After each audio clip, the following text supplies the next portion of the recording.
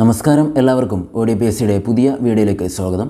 കഴിഞ്ഞ വീഡിയോയിൽ നമ്മൾ ചർച്ച ചെയ്തത് എട്ടാം ക്ലാസ് സാമ്യശാസ്ത്രം പാഠപുസ്തകത്തിലെ ഒന്നാം ഭാഗവുമായി ബന്ധപ്പെട്ട പ്രധാനപ്പെട്ട ചോദ്യങ്ങളാണ്. ഇന്ന് തീർച്ചയായും അതിന്റെ രണ്ടാം ഭാഗത്തിലെ പ്രധാനപ്പെട്ട ചോദ്യങ്ങളാണ് ചർച്ച ചെയ്യാൻ വേണ്ടി പോകുന്നത്. അപ്പോൾ ആദ്യ ഭാഗം കാണാത്തവരാണ് നിങ്ങളെങ്കിൽ അതിന്റെ ലിങ്ക് ഡിസ്ക്രിപ്ഷനിൽ കൊടുത്തിട്ടുണ്ട്. അതൊന്ന് കണ്ടതിന് ശേഷം നിങ്ങൾ ഇത് കാണുന്നതായിരിക്കും കുറച്ചും കൂടി നല്ലത്. അതിന്റെ ഒരു തുടർച്ച കിട്ടണമെങ്കിൽ അതായിരിക്കും നല്ലത്. അപ്പോൾ വീഡിയോയിലേക്ക് കടക്കുന്നതിന് മുന്നേ ഒരു കാര്യം കൂടെ. കോവിഡ് പടർന്നു പിടിച്ച ഈ ഒരു സാഹചര്യത്തിൽ എല്ലാവരും വീട്ടിൽ തന്നെ സുരക്ഷിതരായി ഇരിക്കുവാൻ വേണ്ടി ശ്രദ്ധിക്കുക അനാവശ്യ കാര്യങ്ങൾക്കായി പുറത്തേക്ക് പോകുന്നത് പൂർണമായും ഒഴിവാക്കുവാൻ വേണ്ടി ശ്രമിക്കണമെന്നും അഭ്യർത്ഥിക്കുന്നു. അപ്പോൾ നമുക്ക് നേരെ ചോദ്യങ്ങളിലേക്ക് കടക്കാം.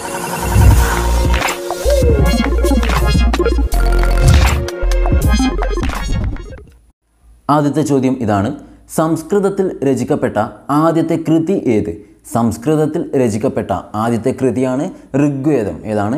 ഋഗ്വേദമാണ് സംസ്കൃതത്തിൽ രചിക്കപ്പെട്ട ആദ്യത്തെ കൃതി. അടുത്തത് കന്നുകാലികൾക്കും മേച്ചിൽപ്പുറങ്ങൾക്കും വേണ്ടി ആര്യന്മാർ നടത്തിയ യുദ്ധങ്ങൾ അറിയപ്പെട്ടത്.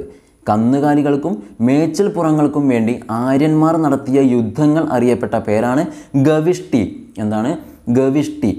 കന്നുകാലികൾക്കും മേച്ചിൽപ്പുറങ്ങൾക്കും വേണ്ടി ആര്യന്മാർ നടത്തിയ യുദ്ധങ്ങൾ അറിയപ്പെട്ട പേരാണ് ഗവിഷ്ടി. അടുത്തത് ആര്യന്മാർ ഉപയോഗിച്ചിരുന്ന ഭാഷ ഏത്? നമ്മൾ ഭാഷകളെക്കുറിച്ചൊക്കെ പറഞ്ഞിട്ടുണ്ടായിരുന്നു. അതിൽ ആര്യന്മാർ ഉപയോഗിച്ചിരുന്ന ഭാഷയാണ് സംസ്കൃതം. അഞ്ചാം ക്ലാസ്സിൽ നമ്മൾ ഈ ഒരു ഭാഗം ഡിസ്കസ് ചെയ്തിട്ടുണ്ട് എങ്കിലും ഒരിക്കൽ കൂടി ഓർത്തിരിക്കുക ആര്യന്മാർ ഉപയോഗിച്ചിരുന്ന ഭാഷയാണ് സംസ്കൃതം. അതിന്റെ കൂടെ തന്നെ സംസ്കൃതം എന്ന് പറയുന്നത് ഇന്തോ യൂറോപ്യൻ ഭാഷയാണ്. അതും കൂടി ഒന്ന് ഓർത്തിരിക്കുക ഇന്തോ യൂറോപ്യൻ ഭാഷയാണ് സംസ്കൃതം. അടുത്ത ചോദ്യം. സമൂഹത്തെ തൊഴിലടിസ്ഥാനത്തിൽ പുരോഹിതർ സേനാനികൾ സാധാരണക്കാർ എന്നിങ്ങനെ തരംതിരിച്ചത് ഏത് കാലഘട്ടത്തിൽ ആണ്? സമൂഹത്തെ തൊഴിലിന്റെ അടിസ്ഥാനത്തിൽ പുരോഹിതർ സേനാനികൾ സാധാരണക്കാർ എന്നിങ്ങനെ തരംതിരിച്ചത് ഏത് കാലഘട്ടത്തിലാണ്? ഏതാണ്? ഋഗ്വേദ കാലഘട്ടത്തിൽ. ഋഗ്വേദ കാലഘട്ടത്തിലാണ് ഈ ഒരു രീതിയിൽ സമൂഹത്തെ തരംതിരിച്ചത്. അടുത്ത ചോദ്യം. സപ്ത സൈന്ധവ പ്രദേശത്തെ ആര്യന്മാരുടെ പ്രധാന ദൈവം ഏതായിരുന്നു? സപ്ത സൈന്ധവ പ്രദേശത്തെ ആര്യന്മാരുടെ പ്രധാനപ്പെട്ട ദൈവമായിരുന്നു ആര്? ഇന്ദ്രൻ. ഇന്ദ്രനായിരുന്നു ആര്യന്മാരുടെ പ്രധാനപ്പെട്ട ദൈവം. അല്ലെങ്കിൽ ആരാധനാമൂർത്തി. അടുത്ത ചോദ്യം.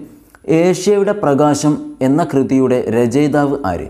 ഏഷ്യയുടെ പ്രകാശം എന്ന കൃതിയുടെ രചയിതാവാണ് എഡ്വിൻ അർണോൾഡ്. ആരാണ്? എഡ്വിൻ അർണോൾഡാണ് ഏഷ്യയുടെ പ്രകാശം എന്ന കൃതിയുടെ രചയിതാവ്. അടുത്തത്.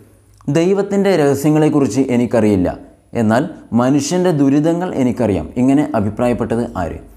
എന്താണ്? ദൈവത്തിന്റെ രഹസ്യങ്ങളെക്കുറിച്ച് എനിക്ക് അറിയില്ല. എന്നാൽ മനുഷ്യന്റെ ദുരിതങ്ങൾ എനിക്കറിയാം. ഇങ്ങനെ പറഞ്ഞതാണ് ശ്രീബുദ്ധൻ. ആരാണ്? ശ്രീബുദ്ധന്റെ വാക്കുകളാണ് ഇത്. അടുത്ത ചോദ്യം. ബുദ്ധമത ഗ്രന്ഥങ്ങൾ അറിയപ്പെട്ട പേര്. അതായത് ബുദ്ധമത ഗ്രന്ഥങ്ങൾ പൊതുവായി അറിയപ്പെടുന്നത് എന്താണ്?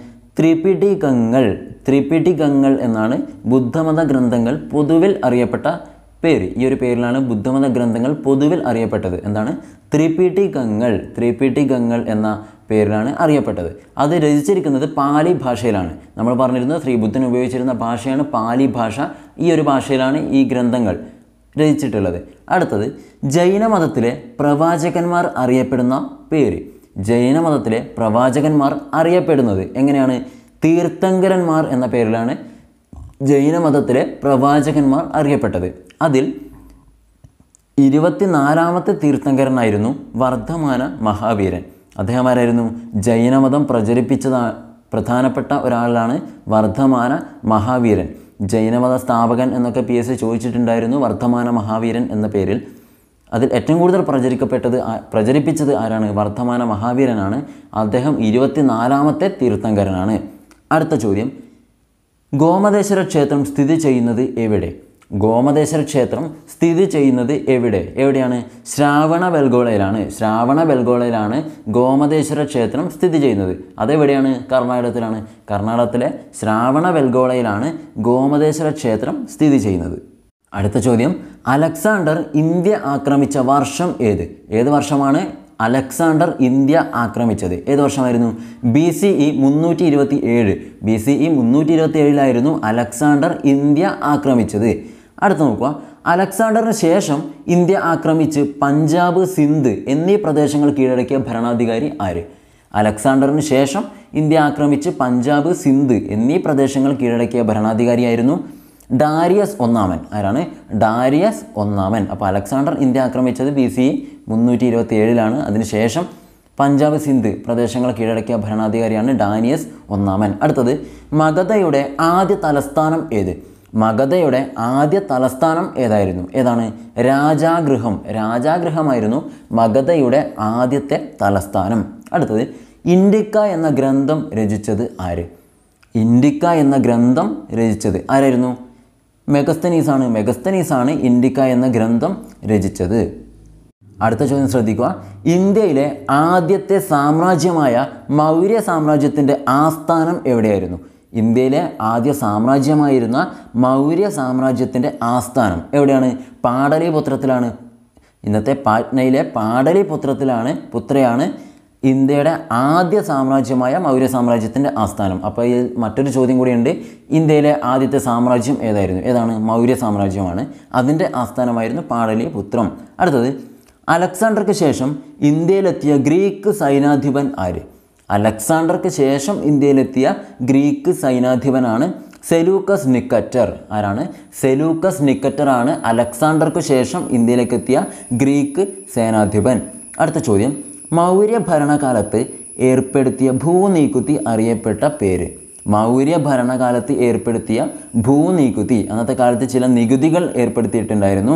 അതിൽ ഭൂനികുതി അറിയപ്പെട്ട പേരാണ് ഭാഗ ഏതാണ് ഭാഗ എന്ന പേരിലാണ് ഭൂനികുതി ഏർപ്പെടുത്തിയത് ആ ഭൂനികുതി അറിയപ്പെട്ടത്. അതിന്റെ കൂടെ തന്നെ ഇതേ കാലഘട്ടത്തിൽ ജലനികുതി അറിയപ്പെട്ട പേര്. ജലനികുതിയാണ് ഉദക ഭാഗ ഭൂനികുതി ഭാഗ എന്ന പേരിൽ പഠിച്ചു. ജലനികുതിയാണ് ഉദക ഭാഗ. അതിന്റെ കൂടെ തന്നെ പഴങ്ങൾക്കും പൂന്തോട്ടങ്ങൾക്കും മേൽ ചുമത്തിയ നികുതിയാണ് ബലി എന്താണ്? പഴങ്ങൾക്കും പൂന്തോട്ടങ്ങൾക്കും മേൽ ചുമത്തിയ നികുതി ബലി എന്ന പേരിലും കയറ്റുമതിയുടെയും ഇറക്കുമതിയുടെയും മേൽ ചുമത്തിയ നികുതി ശുൽക്ക എന്ന പേരിലും അറിയപ്പെട്ടു. എന്തൊക്കെയാണ്? ഭൂനികുതി നമ്മൾ പഠിച്ചു ഭാഗ എന്ന പേരിൽ പഠിച്ചു ജലനികുതി ഉദക ഭാഗ എന്ന പേരിലും പഠിച്ചു. അതിന്റെ കൂടെ തന്നെ പഴങ്ങൾക്കും പൂന്തോട്ടങ്ങൾക്കും മേൽ ഏർപ്പെടുത്തിയ നികുതിയാണ് ബലി. കൂടാതെ കയറ്റുമതിയുടെയും ഇറക്കുമതിയുടെയും മേൽ ചുമത്തിയ നികുതി ശുൽക്ക എന്ന പേരിലും അറിയപ്പെട്ടു. അടുത്ത ചോദ്യം. മൗര്യന്മാർക്ക് ശേഷം വടക്ക് പടിഞ്ഞാറൻ ഇന്ത്യയിലെത്തിയ പ്രധാനപ്പെട്ട വിഭാഗങ്ങൾ ആരൊക്കെയാണ്? അല്ലെങ്കിൽ ആരാണ്? മൗര്യന്മാർക്ക് ശേഷം വടക്ക് പടിഞ്ഞാറൻ ഇന്ത്യയിലെത്തിയ പ്രധാനപ്പെട്ട വിഭാഗമാണ് കുഷാനന്മാർ ആരാണ്? കുഷാനന്മാർ അതിലെ പ്രധാന ഭരണാധികാരിയെ പേര് കേട്ടാൽ നമുക്ക് ഓർമ്മ വരും. കനിഷ്കനാണ്. കുഷാനന്മാരിലെ പ്രധാനപ്പെട്ട ഭരണാധികാരിയായിരുന്നു കനിഷ്കൻ. അദ്ദേഹത്തിന്റെ പ്രത്യേകത ഒന്ന് നോക്കാം. ശകവർഷ കലണ്ടർ ആരംഭിച്ച ഭരണാധികാരിയായിരുന്നു കനിഷ്കൻ. എന്താണ്? ശകവർഷ കലണ്ടർ ആരംഭിച്ച ഭരണാധികാരിയായിരുന്നു കനിഷ്കൻ. ഏത് വർഷമായിരുന്നു? സി ഇ എഴുപത്തിയെട്ടിൽ. സി ഇ എഴുപത്തിയെട്ടിലാണ് ശകവർഷ കലണ്ടർ ആരംഭിച്ചത്. അത് ആരംഭിച്ചത് ആരാണ്? കനിഷ്കനാണ്. അദ്ദേഹം ഏത് ഭരണാധികാരിയായിരുന്നു? കുഷാന വിഭാഗത്തിലെ ഭരണാധികാരിയായിരുന്നു. അതൊന്ന് ഓർത്തിരിക്കണം. അപ്പോൾ ശകവർഷ കലണ്ടർ എന്ന് കേൾക്കുമ്പോൾ നമുക്ക് പെട്ടെന്ന് ഓർമ്മ വരുന്ന ഒരു ചോദ്യമുണ്ട്. പ്രധാനപ്പെട്ട ചോദ്യമാണ് ഇന്ത്യയുടെ ഔദ്യോഗിക കലണ്ടർ ഏതാണ്? ഏതാണ്? ശകവർഷ കലണ്ടറാണ്. ഇന്ത്യയുടെ ഔദ്യോഗിക കലണ്ടറാണ് ശകവർഷ കലണ്ടർ. അപ്പോൾ അതിനെ കണക്ട് ചെയ്തുകൊണ്ടുള്ള കുറച്ച് കാര്യങ്ങളാണ് നമ്മൾ പറഞ്ഞത്. ഉറപ്പായിട്ടും പ്രധാനപ്പെട്ട കാര്യങ്ങളാണ് ഓർത്തിരിക്കുക. അടുത്ത ചോദ്യം. ഗ്രീക്കുകാരുടെയും റോമാക്കാരുടെയും ശില്പവിദ്യയും ഇന്ത്യയിൽ നിലനിന്നിരുന്ന ശില്പവിദ്യയും ചേർത്ത് കുഷാന കാലത്ത് രൂപപ്പെട്ട പുതിയ ശൈലി ഏത്? എന്താണ് ചോദ്യം. ഗ്രീക്കുകാരുടെയും റോമാക്കാരുടെയും ശില്പവിദ്യയും ഇന്ത്യയിൽ നിലനിന്നിരുന്ന ശില്പവിദ്യയും ചേർത്ത് കുഷാനക്കാലത്ത് രൂപപ്പെട്ട പുതിയ ശൈലിയാണ് ഏത്? ഗാന്ധാര ശില്പകല. എന്താണ്? ഗാന്ധാര ശില്പകല. അത് ഓർത്തിരിക്കണം. ഗാന്ധാര ശില്പകല. അടുത്ത ചോദ്യം. മൗര്യ ഭരണത്തിന് ശേഷം മധ്യേന്ത്യയിലും ദക്ഷിണേന്ത്യയിലും ഭരണം നടത്തിയത് ആരായിരുന്നു? മൗര്യ ഭരണത്തിന് ശേഷം മധ്യേന്ത്യയിലും ദക്ഷിണേന്ത്യയിലും ഭരണം നടത്തിയതായിരുന്നു ശതവാഹന്മാർ. ആരാണ്? ശതവാഹന്മാർ. അത് ശ്രദ്ധിക്കണം. നമ്മളിപ്പം പറഞ്ഞത് മൗര്യന്മാർക്ക് ശേഷം വടക്ക് പടിഞ്ഞാറ് ഇന്ത്യയിലെത്തിയ പ്രധാനപ്പെട്ട വിഭാഗമായിരുന്നു കുശാലന്മാർ എന്ന് പറഞ്ഞു. ഇപ്പം പറഞ്ഞത് മധ്യേന്ത്യയിലും ദക്ഷിണേന്ത്യയിലും ഭരണം നടത്തിയത് ആരായിരുന്നു എന്നാണ്. അത് പഠിച്ചു കഴിഞ്ഞു. അടുത്ത ചോദ്യം. മൗര്യ സാമ്രാജ്യത്തിന്റെ തകർച്ചയ്ക്കു ശേഷം പാടലിപുത്രം ആസ്ഥാനമാക്കി ഗംഗാ സമതലത്തിൽ വളർന്നു വന്ന ശക്തമായ സാമ്രാജ്യം ഏതായിരുന്നു? മൗര്യ സാമ്രാജ്യത്തിന്റെ തകർച്ചയ്ക്കു ശേഷം പാടലിപുത്രം ആസ്ഥാനമാക്കി ഗംഗാ സമതലത്തിൽ വളർന്നു വന്ന ശക്തമായ സാമ്രാജ്യമായിരുന്നു ഗുപ്ത സാമ്രാജ്യം. മൗര്യന്മാർക്ക് ശേഷം വന്ന ശക്തമായ സാമ്രാജ്യമായിരുന്നു ഗുപ്ത സാമ്രാജ്യം. അടുത്തത് രാജാക്കന്മാരുടെ യുദ്ധവിജയങ്ങളെയും ഭരണ നേട്ടങ്ങളെയും പ്രകീർത്തിച്ചുകൊണ്ട് രാജസഭയിലെ കവികൾ തയ്യാറാക്കുന്ന ലിഖിതങ്ങൾ അറിയപ്പെട്ടത്. എന്താണ്? രാജാക്കന്മാരുടെയും യുദ്ധവിജയങ്ങളെയും ഭരണ നേട്ടങ്ങളെയും പ്രകീർത്തിച്ചുകൊണ്ട് രാജാക്കന്മാരുടെ യുദ്ധവിജയങ്ങളെയും ഭരണ നേട്ടങ്ങളെയും പ്രകീർത്തിച്ചുകൊണ്ട് രാജ്യസഭയിലെ കവികൾ തയ്യാറാക്കുന്ന ലിഖിതങ്ങളായിരുന്നു പ്രശസ്തികൾ. എന്താണ്? പ്രശസ്തികൾ. അതിനെ പ്രകീർത്തിച്ചുകൊണ്ട് തയ്യാറാക്കുന്ന ലിഖിതങ്ങളായിരുന്നു പ്രശസ്തികൾ. ഇത് ശിലയിലൊക്കെ ആയിരുന്നു കൊത്തിവച്ചിരുന്നത് അതിന്റെ കൂടെ തന്നെ പറയാൻ വിട്ടുപോയ ഒരു കാര്യം. ഗുപ്ത സാമ്രാജ്യത്തിലെ ആദ്യത്തെ ഭരണാധികാരിയായിരുന്നു ആര്? ചന്ദ്രഗുപ്തൻ ഒന്നാമൻ. ആദ്യ ഭരണാധികാരിയായിരുന്നു ചന്ദ്രഗുപ്തൻ ഒന്നാമൻ. അടുത്ത ചോദ്യം. തലസ്ഥാനം പാടലിപുത്രയിൽ നിന്നും ഉജ്ജയിനിലേക്ക് മാറ്റിയ ഗുപ്ത സാമ്രാജ്യ ഭരണാധികാരി ആരായിരുന്നു? എന്താണ് ചോദ്യം. തലസ്ഥാനം പാടലിപുത്രയിൽ നിന്നും ഉജ്ജയിനിലേക്ക് മാറ്റിയ ഭരണാധികാരി ആരായിരുന്നു? ആരാണ്? ചന്ദ്രഗുപ്തൻ രണ്ടാമനായിരുന്നു. ആരാണ്? ചന്ദ്രഗുപ്തൻ രണ്ടാമനായിരുന്നു. നമ്മൾ ചന്ദ്രഗുപ്തൻ രണ്ടാമനെ കുറിച്ചുള്ള പ്രധാനപ്പെട്ട ചില കാര്യങ്ങളൊക്കെ അഞ്ചാം ക്ലാസ്സിൽ ചർച്ച ചെയ്തിട്ടുണ്ടായിരുന്നു. അതൊന്ന് ഓർത്തിരിക്കണം. അടുത്ത ചോദ്യം. ചന്ദ്രഗുപ്തൻ രണ്ടാമന്റെ കാലഘട്ടത്തിൽ ഇന്ത്യ സന്ദർശിച്ച ചൈനീസ് സഞ്ചാരി ആര്? ചന്ദ്രഗുപ്തൻ രണ്ടാമന്റെ രണ്ടാമന്റെ കാലഘട്ടത്തിൽ ഇന്ത്യ സന്ദർശിച്ച ചൈനീസ് സഞ്ചാരിയായിരുന്നു ഫാഹിയാൻ. ആരാണ്? ഫാഹിയാൻ ആയിരുന്നു. അത് ഓർത്തിരിക്കണം. അടുത്തത് നവരത്നങ്ങൾ ആരുടെ കൊട്ടാരത്തിലെ പണ്ഡിത സഭയായിരുന്നു? ഇങ്ങനെയും ചോദ്യം വരാം. നവരത്നങ്ങൾ ആരുടെ കൊട്ടാരത്തിലെ പണ്ഡിത സഭയാണ്? ആരുടെയാണ്? ചന്ദ്രഗുപ്തൻ രണ്ടാമന്റെ ആയിരുന്നു നമ്മളിത് നേരെ തിരിച്ചിട്ടായിരുന്നു പഠിച്ചത്. ചന്ദ്രഗുപ്തൻ രണ്ടാമന്റെ കൊട്ടാരത്തിലെ പണ്ഡിത സഭയായിരുന്നു നവരത്നങ്ങൾ എന്ന് നമ്മൾ പഠിച്ചിട്ടുണ്ടായിരുന്നു. ഇങ്ങനെയും ചോദിക്കാം. അതിൽ പ്രധാനപ്പെട്ട കവിയായിരുന്നു കാളിദാസൻ. അതൊക്കെ നമുക്കറിയുന്ന കാര്യങ്ങളാണ്. അതൊക്കെ നിങ്ങൾ ഓർത്തിരിക്കണം. പിന്നെ നമുക്കൊരു കാര്യം. ഇതൊരു ഒരു തവണ പി എസ് സി ചോദിച്ചിട്ടുണ്ടായിരുന്നു. വിക്രമാദിത്യൻ നമ്മുടെ പുരാണ കഥകളിലെ വിക്രമാദിത്യ മഹാരാജാവ് എന്നറിയപ്പെട്ട വ്യക്തി ആരായിരുന്നു? ചന്ദ്രഗുപ്തൻ രണ്ടാമൻ ആണെന്നാണ് വിശ്വസിക്കുന്നത്. അപ്പോൾ വിക്രമാദിത്യ ഭരണ രാജാവ് എന്നറിയപ്പെടുന്നത് ചന്ദ്രഗുപ്തൻ രണ്ടാമനായിരുന്നു. അതും കൂടെ ഒന്ന് മനസ്സിലാക്കി വെക്കുക. ചോദ്യം ചോദിച്ചിട്ടുണ്ടായിരുന്നു. വിക്രമാദിത്യൻ ചന്ദ്രഗുപ്തൻ ഒന്നാമൻ രണ്ടാമൻ മറ്റു രണ്ട് പേരും തന്നിട്ട് അങ്ങനെ ഒരു ചോദ്യം ഉണ്ടായിരുന്നു. അത് ശ്രദ്ധിക്കണം. അടുത്തത് ഹർഷചരിതം രചിച്ചത് ആര്? ഹർഷചരിതം രചിച്ചത് ആരായിരുന്നു? ആരാണ്? വാണഭട്ടനാണ്. വാണഭട്ടൻ രചിച്ച കൃതിയാണ് ഹർഷചരിതം. പഠിക്കണം. പ്രധാനപ്പെട്ട കാര്യങ്ങളാണ്. അടുത്തത് അമരകോശത്തിന്റെ രചയിതാവ് ആര്? അമരകോശത്തിന്റെ രചയിതാവ് പേരിൽ തന്നെയുണ്ട്. ആരാണ്? അമരസിംഹനാണ്. അമരകോശം രചിച്ചത് അമരസിംഹനാണ്. അടുത്തത് ഗുപ്തന്മാർക്ക് ശേഷം പ്രാചീന ഇന്ത്യയിൽ ഭരണം നടത്തിയത് ആരായിരുന്നു? ഗുപ്തന്മാർക്ക് ശേഷം പ്രാചീന ഇന്ത്യയിൽ ഭരണം നടത്തിയതായിരുന്നു വർദ്ധന രാജാക്കന്മാർ. ആരാണ്? വർദ്ധന രാജാക്കന്മാർ. താനേശ്വരം കേന്ദ്രമാക്കി ഭരണം നടത്തിയ രാജാക്കന്മാരായിരുന്നു വർദ്ധന രാജാക്കന്മാർ. അപ്പം മൗര്യ സാമ്രാജ്യം ഗുപ്ത സാമ്രാജ്യം പിന്നെ വർദ്ധന രാജാക്കന്മാർ ഗുപ്തന്മാർക്ക് ശേഷം ഭരണത്തിലേക്ക് വന്നു. അടുത്ത ചോദ്യം. പഞ്ചസിദ്ധാന്തിക എന്ന കൃതി രചിച്ചത് ആര്? പഞ്ചസിദ്ധാന്തിക എന്ന കൃതി രചിച്ചതാണ് വരാഹമിഹിരൻ. ആരാണ്? വരാഹമിഹിരൻ. അതും ഓർത്തിരിക്കണം. ഹർഷചരിതമാണ് വാണഭട്ടൻ. പഞ്ചസിദ്ധാന്തിക വരാഹമിഹിരനാണ്. അടുത്ത ചോദ്യം. നമ്മൾ പറഞ്ഞിട്ടുള്ള ചോദ്യം തന്നെയാണ്. അന്തരീക്ഷത്തിൽ ഏറ്റവും കൂടുതൽ ഉള്ള വാതകം ഏതാണ്? അന്തരീക്ഷത്തിൽ ഏറ്റവും കൂടുതലുള്ള വാതകമാണ് നൈട്രജൻ. ഏകദേശം എഴുപത്തിയെട്ട് ശതമാനത്തോളം നൈട്രജൻ ആണുള്ളത് എന്നാൽ ഏറ്റവും കൂടുതലുള്ള രണ്ടാമത്തെ വാതകം ഏതായിരുന്നു? ഓക്സിജൻ ആണ് ഇരുപത്തി ഒന്ന് ശതമാനത്തോളം ഉള്ളത് ഓക്സിജൻ ആണ് നമ്മൾ പലതവണ ആവർത്തിച്ച കാര്യങ്ങളാണ് ശ്രദ്ധിക്കണം. അടുത്തത് ഹരിതഗൃഹ പ്രഭാവത്തിന് കാരണമാകുന്ന വാതകങ്ങൾ അറിയപ്പെടുന്നത്. ഹരിതഗൃഹ പ്രഭാവത്തിന് കാരണമാകുന്ന വാതകങ്ങൾ അറിയപ്പെടുന്ന പേര് എന്താണ്? ഹരിതഗൃഹ വാതകങ്ങൾ അടുത്ത ചോദ്യം ഹരിതഗൃഹ വാതകങ്ങളിലൂടെ അന്തരീക്ഷ താപനിലയിൽ ഉണ്ടാകുന്ന വർധനവാണ് എന്തായിട്ട് അറിയപ്പെടുന്നത്? ആഗോള താപനം ഗ്ലോബൽ വാർമിംഗ് എന്താണ്? ഹരിതഗൃഹ വാതകങ്ങളിലൂടെ അന്തരീക്ഷ താപനിലയിൽ ഉണ്ടാകുന്ന വർധനവിനെയാണ് നമ്മൾ ആഗോള താപനം എന്ന് അറിയപ്പെടുന്നത്. ഉറപ്പായിട്ടും ഈ ഒരു ചോദ്യം നമുക്ക് പ്രതീക്ഷിക്കാം. ക്യോട്ടോ പ്രോട്ടോകോൾ എന്തുമായി ബന്ധപ്പെട്ടിരിക്കുന്നു? എന്താണ്? ക്യോട്ടോ പ്രോട്ടോകോൾ എന്തുമായി ബന്ധപ്പെട്ടിരിക്കുന്നു? എന്താണ്? ആഗോളതാപനം ആഗോളതാപനവുമായി ബന്ധപ്പെട്ടിരിക്കുന്ന പ്രോട്ടോകോളാണ് കോട്ടോ പ്രോട്ടോക്കോൾ അഥവാ കോട്ടോ ഉടമ്പടി. അടുത്ത ചോദ്യം നോക്കാം.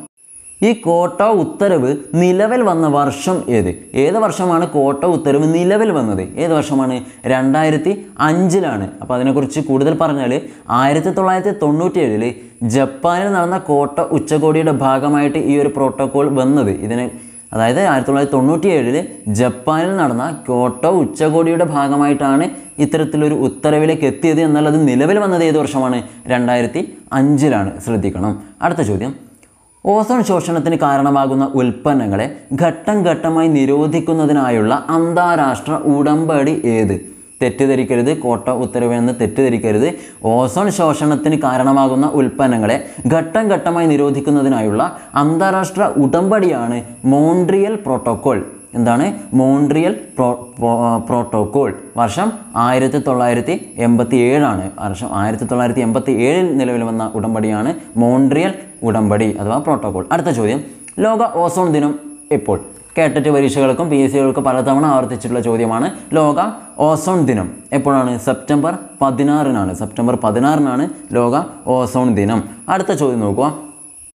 ഭൗമോപരിതലത്തിൽ നിന്ന് ഏകദേശം തൊണ്ണൂറ് കിലോമീറ്റർ ഉയരം വരെയുള്ള ഭാഗം അറിയപ്പെടുന്ന പേര്. എന്താണ്? ഭൗമോപരിതലത്തിൽ നിന്നും ഏകദേശം തൊണ്ണൂറ് കിലോമീറ്ററോളം ഉയരത്തിൽ ഉള്ള ഭാഗം അറിയപ്പെടുന്ന പേരാണ് ഹോമോസ്ഫിയർ. എന്താണ്? ഹോമോസ്ഫിയർ. എന്നാൽ തൊണ്ണൂറ് കിലോമീറ്റർ മുകളിൽ വരുന്ന ഭാഗത്ത് നമ്മൾ പൊതുവായിട്ട് അറിയപ്പെടുന്ന പേരാണ് ഹെറ്റിറോസ്ഫിയർ. എന്താണ്? ഹോമോസ്ഫിയർ തൊണ്ണൂറ് കിലോമീറ്റർ വരെയുള്ള ഭാഗവും അതിന് മുകളിലോട്ട് വരുന്ന ഭാഗം അറിയപ്പെടുന്നതാണ് ഹെറ്റിറോസ്ഫിയർ. അടുത്തത് ഭൂമിയോട് ചേർന്ന് സ്ഥിതി ചെയ്യുന്ന അന്തരീക്ഷ മണ്ഡലം ഏത്? അന്തരീക്ഷത്തിന് നമ്മൾ വിവിധ പാളികളായിട്ടൊക്കെ എന്താണ് വർഗീകരിച്ചിട്ടുള്ള കാര്യങ്ങളൊക്കെ നമ്മൾ മനസ്സിലാക്കിയിട്ടുണ്ട്. വിവിധ പാളികളായിട്ട് വേർതിരിച്ചിട്ടുണ്ട്. അതിൽ ഭൂമിയോട് ചേർന്ന് സ്ഥിതി ചെയ്യുന്ന അന്തരീക്ഷ പാളി അല്ലെങ്കിൽ അന്തരീക്ഷ മണ്ഡലം ഏത്? എന്താണ്? ട്രോപ്പോസ്ഫിയർ ആണ് ട്രോപ്പോസ്ഫിയർ ആണ് ഭൂമിയോട് ചേർന്ന് സ്ഥിതി ചെയ്യുന്ന അന്തരീക്ഷ മണ്ഡലം. അടുത്തത് മേഘരൂപീകരണം മഴ മഞ്ഞ് ഇടിമിന്നൽ തുടങ്ങിയ അന്തരീക്ഷ പ്രതിഭാസങ്ങൾ കാണപ്പെടുന്ന മണ്ഡലമാണ് ഏത്? ട്രോപ്പോസ്ഫിയർ. മേഘരൂപീകരണം മഴ മഞ്ഞ് ഇടിമിന്നൽ ഈ കാറ്റ് തുടങ്ങിയവയൊക്കെ പ്രതിഭാസങ്ങളൊക്കെ കാണപ്പെടുന്ന മണ്ഡലമാണ് ട്രോപ്പോസ്ഫിയർ. നമ്മൾ അനുഭവിക്കപ്പെടുന്ന ഈ ഒരു കാര്യങ്ങളൊക്കെ ഇതൊക്കെ ട്രോപ്പോസ്ഫിയറിലുള്ളതാണ്. അടുത്തത് പ്രധാന അന്തരീക്ഷ മണ്ഡലങ്ങളെ തമ്മിൽ വേർതിരിക്കുന്ന അന്തരീക്ഷ ഭാഗങ്ങൾ അറിയപ്പെടുന്ന പേര്. പ്രധാന അന്തരീക്ഷ മണ്ഡലങ്ങൾ നമുക്കറിയാം. ട്രോപ്പോസ്ഫിയർ സ്ട്രാറ്റോസ്ഫിയർ മിസോസ്ഫിയർ തെർമോസ്ഫിയർ അങ്ങനെ നമ്മൾ പഠിച്ചിട്ടുണ്ട്. അതിൽ ഓരോ മണ്ഡലങ്ങളെയും വേർതിരിക്കുന്ന അന്തരീക്ഷ ഭാഗങ്ങൾ അറിയപ്പെടുന്ന പേര്. എന്താണ്? സംക്രമണ മേഖലകൾ എന്നാണ് അറിയപ്പെടുന്നത്. പൊതുവായിട്ട് അറിയപ്പെടുന്നത് സംക്രമണ മേഖലകളാണ്. പിന്നെ ഓരോ പാളിയെയും വേർതിരിക്കുന്ന വ്യത്യസ്ത ഭാഗങ്ങളുണ്ട് നമ്മളിപ്പോൾ പറയും. ഇനി നോക്കുക ട്രോപ്പോസ്ഫിയറിന് മുകളിലുള്ള സംക്രമണ മേഖല ഏത്? ട്രോപ്പോസ്ഫിയറിന് മുകളിലുള്ള സംക്രമണ മേഖലയാണ് ട്രോപ്പോപാസ്. അല്ലെങ്കിൽ ചോദ്യം ഇങ്ങനെയും ചോദിക്കാം. ട്രോപ്പോസ്ഫിയറിനെയും തൊട്ടടുത്ത പാളിയായിട്ടുള്ള സ്ട്രാറ്റോസ്ഫിയറിനെയും തമ്മിൽ വേർതിരിക്കുന്ന അന്തരീക്ഷ ഭാഗം ഏത്? എന്താണ്? ട്രോപ്പോപാസ് ആണ് അങ്ങനെയും ചോദിക്കാം. അപ്പോൾ ഓർത്തിരിക്കുക. അടുത്ത ചോദ്യം. ട്രോപ്പോപാസിൽ തുടങ്ങി ഭൂമിയിൽ നിന്ന് ഏകദേശം അമ്പത് കിലോമീറ്റർ ഉയരം വരെ വ്യാപിച്ചു കിടക്കുന്ന മണ്ഡലം ഏത്? എന്താണ്? ട്രോപ്പോപാസിൽ തുടങ്ങി ഭൂമിയിൽ നിന്ന് ഏകദേശം അമ്പത് കിലോമീറ്റർ വരെ ഉയരത്തിൽ വ്യാപിച്ചു കിടക്കുന്ന മണ്ഡലമാണ് സ്ട്രാറ്റോസ്ഫിയർ. അല്ലെങ്കിൽ എളുപ്പത്തിൽ ട്രോപ്പോസ്ഫിയർ കഴിഞ്ഞാൽ തൊട്ടടുത്ത അന്തരീക്ഷ പാളിയാണ് സ്ട്രാറ്റോസ്ഫിയർ. ഇനി നോക്കുക. സ്ട്രാറ്റോസ്ഫിയറിന്റെ താഴ്ന്ന മേഖലകൾ അറിയപ്പെടുന്ന പേര്. സ്ട്രാറ്റോസ്ഫിയറിന്റെ താഴ്ന്ന മേഖലകൾ അറിയപ്പെടുന്ന പേര് എന്താണ്? സമതാപ മേഖല എന്നാണ് അറിയപ്പെടുന്നത്. സമതാപ മേഖല എന്നാണ് സ്ട്രാറ്റോസ്ഫിയറിന്റെ താഴ്ന്ന മേഖലകൾ അറിയപ്പെടുന്നത്. അപ്പോൾ ഈ ഓസോൺ പാളിയുടെ നിർമ്മാണമൊക്കെ നടക്കുന്നത് സ്ട്രാറ്റോസ്ഫിയറിലാണ് അടുത്ത ചോദ്യം നോക്കുക. സ്ട്രാറ്റോസ്ഫിയറിന്റെ മുകളിലുള്ള സംക്രമണ മേഖല ഏത്? സ്ട്രാറ്റോസ്ഫിയറിന്റെ മുകളിലുള്ള സംക്രമണ മേഖല. അതായത് സ്ട്രാറ്റോസ്ഫിയറിനെയും അടുത്ത പാളിയായിട്ടുള്ള ഏത്? മിസോസ്ഫിയർ രണ്ടിനെയും വേർതിരിക്കുന്ന പാളി അല്ലെങ്കിൽ മണ്ഡലമാണ് സ്ട്രാറ്റോപാസ് എന്താണ് സ്ട്രാറ്റോപാസ് അടുത്തത് ഉൽക്കാപതന പാളി എന്നറിയപ്പെടുന്ന അന്തരീക്ഷ മണ്ഡലം ഏത്? ഉൽക്കാപതന പാളി എന്നറിയപ്പെടുന്ന മണ്ഡലമാണ് മിസോസ്ഫിയർ. മൂന്നാമത്തെ മണ്ഡലമായിട്ടുള്ള മൂന്നാമത്തെ പാളിയായിട്ടുള്ള മിസോസ്ഫിയർ ആണ് ഉൽക്കാപതന പാളി എന്ന് അറിയപ്പെടുന്നത്. ഭൂമിയിൽ നിന്ന് ഏകദേശം അമ്പത് മുതൽ എൺപത് കിലോമീറ്റർ വരെ ഉയരത്തിൽ വ്യാപിച്ചു കിടക്കുന്ന അന്തരീക്ഷ മണ്ഡലമാണ് മിസോസ്ഫിയർ. സ്ട്രാറ്റോപാസ് മുതൽ എൺപത് കിലോമീറ്റർ വരെ ഉയരത്തിൽ വ്യാപിച്ചു കിടക്കുന്ന അന്തരീക്ഷ മണ്ഡലമാണ് ഏതായിട്ട് അറിയപ്പെടുന്നത്? മിസോസ്ഫിയർ ആയിട്ട് അറിയപ്പെടുന്നത്. ഏറ്റവും താപനില കുറഞ്ഞ മണ്ഡലമാണ് മീസോസ്ഫിയർ അതും കൂടി ഓർത്തിരിക്കണം. അടുത്തത് അന്തരീക്ഷത്തിലെ ഏറ്റവും കുറഞ്ഞ താപനില അനുഭവപ്പെടുന്ന ഭാഗം ഏത്? ഏറ്റവും കൂടുതൽ താപനില അനുഭവപ്പെടുന്ന ഭാഗമാണ് മിസോപാസ് ഏതാണ്? മിസോപാസ് ഏകദേശം മൈനസ് എൺപത് ഡിഗ്രി സെൽഷ്യസ് മുതൽ മൈനസ് നൂറ് ഡിഗ്രി സെൽഷ്യസ് വരെയാണ് മിസോപാസിലെ താപനില. അടുത്ത ചോദ്യം നോക്കുക. എൺപത് കിലോമീറ്റർ മുതൽ അറുന്നൂറ് കിലോമീറ്റർ വരെ ഉയരത്തിൽ വ്യാപിച്ചിരിക്കുന്ന അന്തരീക്ഷ മണ്ഡലമാണ് തെർമോസ്ഫിയർ. ഏതാണ്? തെർമോസ്ഫിയർ. ചോദ്യം ശ്രദ്ധിക്കണം. എൺപത് കിലോമീറ്റർ മുതൽ ഏകദേശം അറുന്നൂറ് കിലോമീറ്റർ വരെ ഉയരത്തിൽ വ്യാപിച്ചിരിക്കും ചില പുസ്തകങ്ങൾ അറുന്നൂറ്റി അമ്പത് കിലോമീറ്റർ വരെ എന്ന് കാണിക്കുന്നുണ്ട്. ശ്രദ്ധ കുഴപ്പമില്ല. വ്യാപിച്ച് കിടക്കുന്ന അന്തരീക്ഷ മണ്ഡലമാണ് തെർമോസ്ഫിയർ. അപ്പോൾ തെർമോസ്ഫിയറിന്റെ താഴ്ന്ന ഭാഗമാണ് നമ്മൾ എന്തായിട്ട് അറിയപ്പെടുന്നത്? അയണോസ്ഫിയർ. എന്താണ്? തെർമോസ്ഫിയറിന്റെ താഴ്ന്ന ഭാഗമാണ് അയണോസ്ഫിയർ. ഈ ഒരു ഭാഗം പ്രധാനപ്പെട്ട ഒരു ചോദ്യമായിട്ട് പല പി എസ് സി പരീക്ഷകളിലും കേട്ടറ്റ് പരീക്ഷകളൊക്കെ ചോദിച്ചിട്ടുള്ളതാണ് ശ്രദ്ധിക്കണം. ചോദ്യം നോക്കുക. റേഡിയോ പരിപാടികളുടെ ദീർഘദൂര ദൂര പ്രക്ഷേപണം സാധ്യമാക്കുന്ന അന്തരീക്ഷ മണ്ഡലം ഏത്? റേഡിയോ പരിപാടികളുടെ ദീർഘദൂര പ്രക്ഷേപണം സാധ്യമാക്കുന്ന അന്തരീക്ഷ മണ്ഡലമാണ് അയണോസ്ഫിയർ ഇപ്പോൾ കഴിഞ്ഞ യൂണിവേഴ്സിറ്റി ടെസ്റ്റിന്റെ പരീക്ഷകളൊക്കെ ചോദിച്ചിട്ടുണ്ടായിരുന്നു ഈ ഒരു ചോദ്യം. അപ്പോൾ നോക്കുക ഏതാണ്? അയണോസ്ഫിയർ ആണ്. ഈ ചാർജുള്ള പാളി മണ്ഡലം എന്നൊക്കെ അറിയപ്പെടുന്നത് അയണോസ്ഫിയർ ആണ്. ചോദ്യം ഇങ്ങനെയും ഉണ്ടാവും അമേരിക്കയുടെ റേഡിയോ സിഗ്നൽ ആയിട്ടുള്ള വോയിസ് ഓഫ് അമേരിക്ക. നമുക്ക് ചില അവസരങ്ങളിൽ കേൾക്കാൻ വേണ്ടി സാധ്യമാകുന്നത് ഏത് പാളിയുടെ സാന്നിധ്യമാണ്? എന്താണ്? അയണോസ്ഫിയറിലൂടെയാണ്. അതും കൂടി ഓർത്തിരിക്കണം. അടുത്തത് ആയിരത്തി തൊള്ളായിരത്തി മുപ്പതിലെ ഐ എൻ സിയുടെ വേദി ഏതായിരുന്നു? ആയിരത്തി തൊള്ളായിരത്തി മുപ്പതിലെ ഇന്റർനാഷണൽ കോൺഗ്രസ് ഇന്ത്യൻ നാഷണൽ കോൺഗ്രസിന്റെ സമ്മേളന വേദി ഏതായിരുന്നു? എവിടെയായിരുന്നു? കറാച്ചി കറാച്ചിയിലായിരുന്നു. അടുത്തത് ദേശീയ ആസൂത്രണ സമിതി രൂപം കൊണ്ട വർഷം ഏത്? ഏത് വർഷമാണ്? ദേശീയ ആസൂത്രണ സമിതി അഥവാ നാഷണൽ പ്ലാനിംഗ് കമ്മിറ്റി രൂപം കൊണ്ടത്. എപ്പോഴാണ്? ആയിരത്തി തൊള്ളായിരത്തി മുപ്പത്തി എട്ടിലാണ് ആയിരത്തി തൊള്ളായിരത്തി മുപ്പത്തെട്ടിലാണ് നാഷണൽ പ്ലാനിംഗ് കമ്മിറ്റി രൂപീകരിച്ചത്. അത് നെഹ്റുവിന്റെ നേതൃത്വത്തിലായിരുന്നു. ജവഹർലാൽ നെഹ്റുവിന്റെ നേതൃത്വത്തിലായിരുന്നു ആസൂത്രണ സമിതി രൂപം കൊണ്ടത്. എന്നാൽ അടുത്ത് നോക്കുക.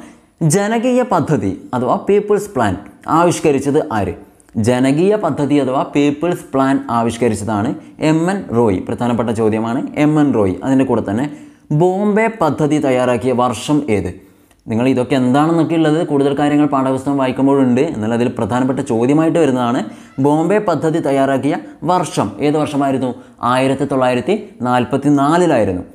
അപ്പോൾ ഈ വർഷങ്ങളൊക്കെ പഠിക്കുമ്പോൾ നിങ്ങൾ ശ്രദ്ധിക്കേണ്ടത് ഈ ഒരു ക്രമത്തിൽ തന്നെ ഓരോ പാഠത്തിലെയും വർഷങ്ങളൊക്കെ എഴുതി വെച്ചിട്ട് എന്ത് ചെയ്യണം? ആവർത്തിക്കണം. റിപ്പീറ്റ് ചെയ്യുന്ന വേണം. അല്ല നമ്മൾ ഒരിക്കലും വായിച്ചാലൊന്നും മനസ്സിൽ നിൽക്കില്ല. റിപ്പീറ്റ് ചെയ്യണം. പല ആവർത്തി പഠിച്ചാൽ മാത്രമേ നമുക്കിത് മനസ്സിൽ നിൽക്കുകയുള്ളൂ. അപ്പോൾ അടുത്ത ചോദ്യം.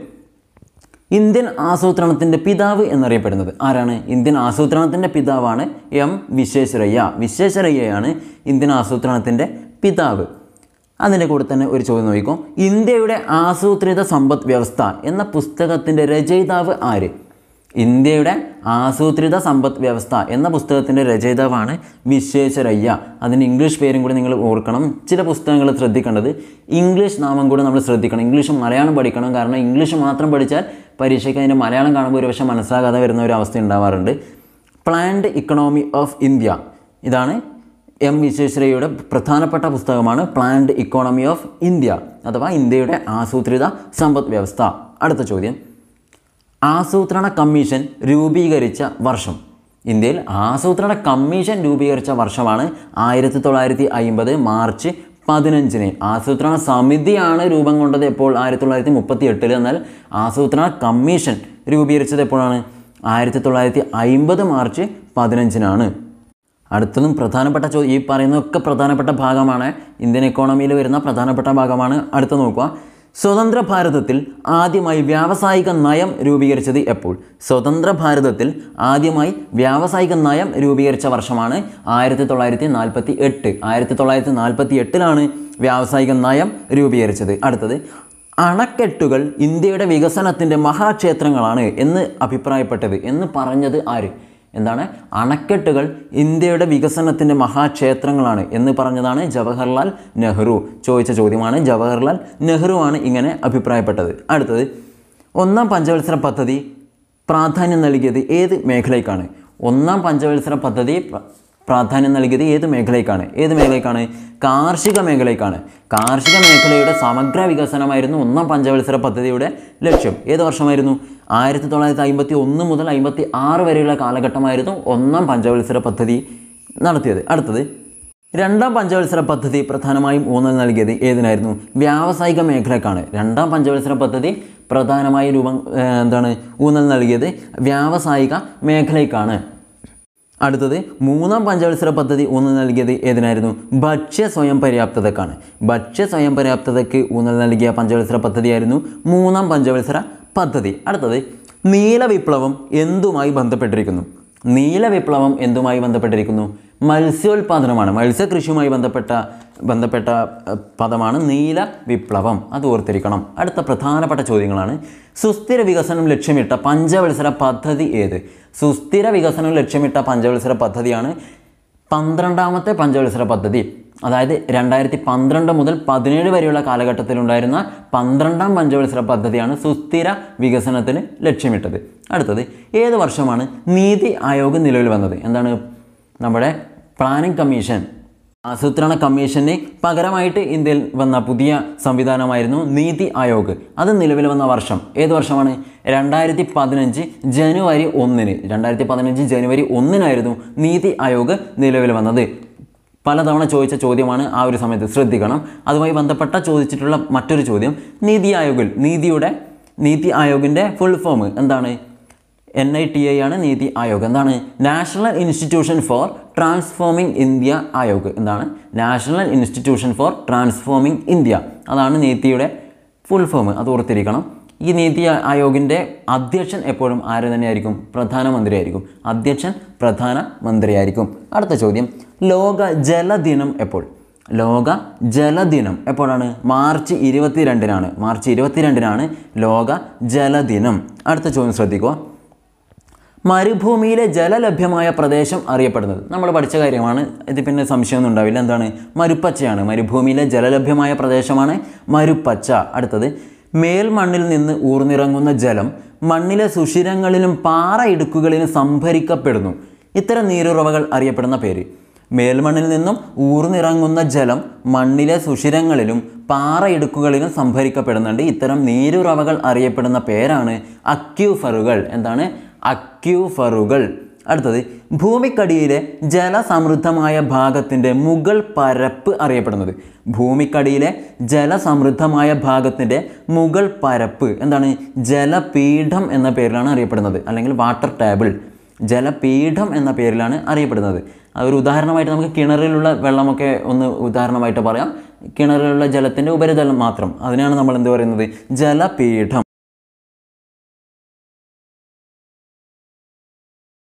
ചോദ്യം ശ്രദ്ധിക്കുക. ഭൂമിക്കുള്ളിൽ നിന്ന് നിശ്ചിത ഇടവേളകളിൽ ചൂടുവെള്ളവും നീരാവിയും ശക്തമായി പുറത്തേക്ക് പ്രവഹിക്കുന്ന പ്രതിഭാസമാണ് എന്തായിട്ട് അറിയപ്പെടുന്നത്? ഗീസറുകൾ. ഗെയ്സറുകൾ എന്നൊക്കെ പറയുന്ന ആ പ്രതിഭാസം. ഒന്നും കൂടെ നോക്കുക. ഭൂമിക്കുള്ളിൽ നിന്ന് നിശ്ചിത ഇടവേളകളിൽ ചൂടുവെള്ളവും നീരാവിയും ശക്തമായി പുറത്തേക്ക് പ്രവഹിക്കുന്ന പ്രതിഭാസമാണ് ഗീസറുകൾ. അടുത്ത ചോദ്യം നോക്കുക. ലോക തണ്ണീർത്തട ദിനം എപ്പോഴാണ്? ലോക തണ്ണീർത്തട ദിനമാണ് ഫെബ്രുവരി രണ്ട് എന്നാൽ ലോക ജലദിനം എപ്പോഴാണ്? മാർച്ച് ഇരുപത്തിരണ്ട്. അത് ഓർത്തിരിക്കണം. അടുത്തത് സമൂഹത്തിലെ ഭൂരിപക്ഷം അംഗീകരിക്കുകയും പിന്തുടരുകയും ചെയ്യുന്ന മൂല്യങ്ങളും നാട്ടാചാരങ്ങളും സദാചാര വ്യവസ്ഥകളും നിയമങ്ങളും ലംഘിക്കുന്ന പെരുമാറ്റം അറിയപ്പെടുന്ന പേര്. വലിയൊരു ചോദ്യമാണ്. സമൂഹത്തിലെ ഭൂരിപക്ഷം അംഗീകരിക്കുകയും പിന്തുടരുകയും ചെയ്യുന്ന മൂല്യങ്ങളും നാട്ടാചാരങ്ങളും സദാചാര വ്യവസ്ഥകളും നിയമങ്ങളും ലംഘിക്കുന്ന പെരുമാറ്റമാണ് എന്തായിട്ട് അറിയപ്പെടുന്നത് സാമൂഹ്യ വ്യതിയാനം. സാമൂഹ്യ വ്യതിയാനം. അടുത്ത ഒരു പ്രധാനപ്പെട്ട ചോദ്യം. പഞ്ചായത്തി രാജ് നിലവിൽ വന്ന ഭരണഘടനാ ഭേദഗതി ഏത്? ഭേദഗതി പ്രകാരമാണ് പഞ്ചായത്തി രാജ് നിലവിൽ വന്നത്? ഏതാണ്? എഴുപത്തി മൂന്നാമത്തെ ഭേദഗതി. അതും കൂടി ഓർത്തിരിക്കുക.